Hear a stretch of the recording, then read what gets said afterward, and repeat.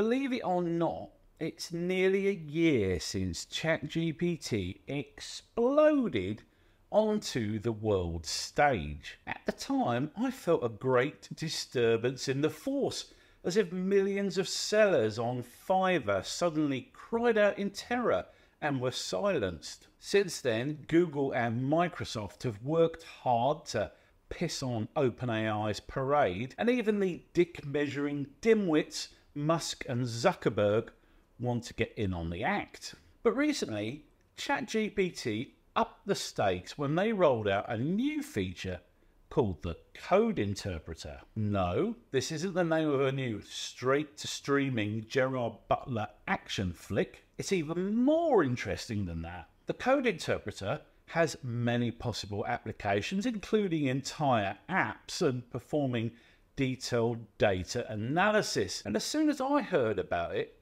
one question popped into my head. Can I use this tool to analyze the metadata in my main Lightroom catalog and get it to tell me all sorts of cool stuff about my photography? And the answer to that question, it turned out, was yes.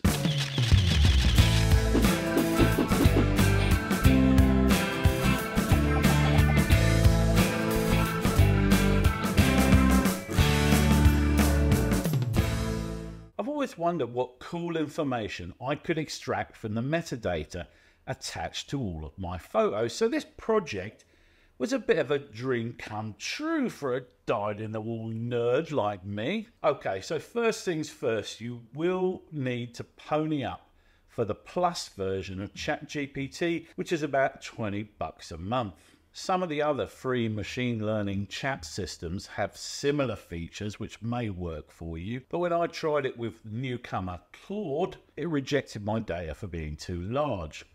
If you have fewer photos than the nearly quarter of a million I've got, you may get away with it. You will also need a plugin to extract all that juicy metadata from your photo catalogue. I used the Export List plugin by Alloy Photo, which worked brilliantly, but there are other tools out there that do a similar job. If you only want to extract a subset of metadata from your catalogue, then John R. Ellis's excellent Any filter is highly recommended. Incidentally, I'll put the links to all this in the description below. However you go about it, the aim of this exercise is to extract all of your photos metadata into a single CSV spreadsheet file. I suggest you don't skimp on the export either. If your metadata export tool lets you select the data you want in the CSV file, choose all of it. Now that you have the data, it's time to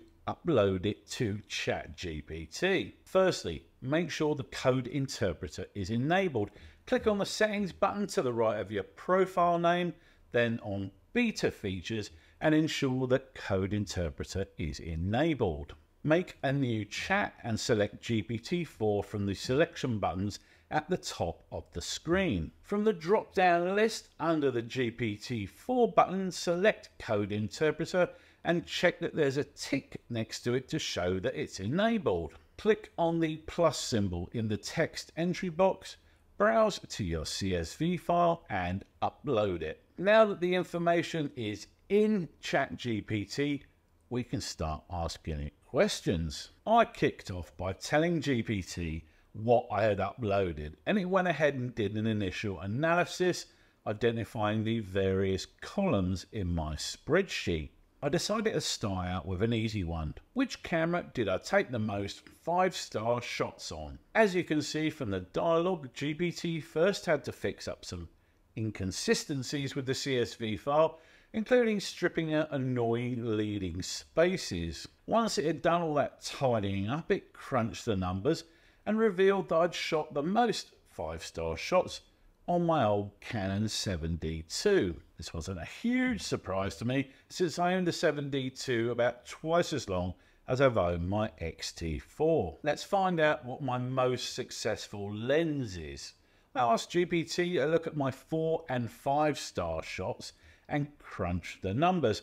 Turned out the 10 to 22 super wide was our candidate. Then I got to wondering if there was a particular exposure that tended to result in the most four or five star shots. It turned out to be the most boring combination imaginable f8 and a 30th of a second. Isn't that just the most vanilla aperture and exposure setting combo you've ever heard in your life? Okay, time to get a bit more esoteric. I wondered if the time of day had some impact on the resulting images. So, of course, I asked GPT. GPT works some magic based on my ludicrously vague time of day wording in the question and opted for a sensible morning, afternoon, evening, and nighttime categorization. But I was interested in the specifics, so I asked GPT to reanalyze and list the results by the hour. And apparently,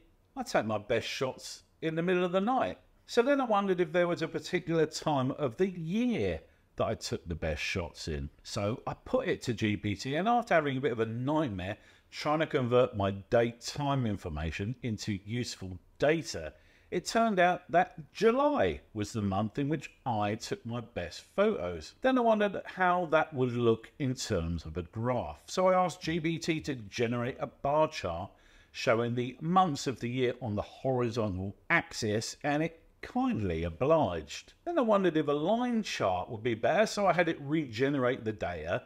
And I ended up with this. Thinking about it, I actually preferred the bar chart, but I was quite enjoying these visualizations now. After a few failed attempts to get GPT to make a bubble chart, I decided to ask a new question regarding the number of shots I take at different times of the year. I found the results for this really interesting. It clearly shows that I take a ton more photos in the summer here in Australia, and yet, as you may recall, I scored the most four or five star shots in July, midwinter here in Australia. So, the fewer photos I take, the more likely I am to come away with a great photo. Are the elder arcane spirits of photography telling me to slow the fuck down occasionally. I was enjoying this by now, so I figured I'd combine the two charts so I could better see what was going on. This put my mind to rest a little bit. If you look at March, I took a ton of photos, but also a large number of solid keepers. Nevertheless, in October, I seem to take very few photos on average and yet still score a high rate of keepers. Definitely looks like more haste, less speed should be my mantra. So there you go, guys. That's how you can extract all that useful information from your photo library's metadata and make interesting discoveries about how you work and what gets you the best results. As you can see, you don't need to be technical at all to use the code interpreter in ChatGPT. You just ask it simple questions and it does all the dirty work of tidying up your data and presenting it in a pleasing way. I have got some more ideas for this kind of photographic data analysis. For instance, you can have GPT analyze more than one file.